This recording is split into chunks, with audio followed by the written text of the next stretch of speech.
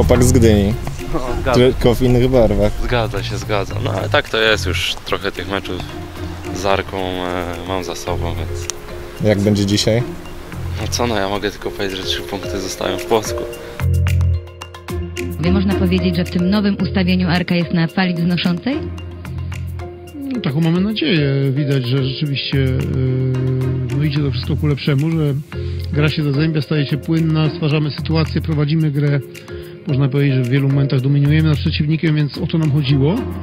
No ale to jest dopiero początek. My dalszy ciągle jesteśmy w ciężkiej sytuacji, więc yy, fajnie, że widać jakieś efekty tego, że, że coś się zmienia, natomiast no, potrzebujemy w tym momencie przede wszystkim efektów punktowych.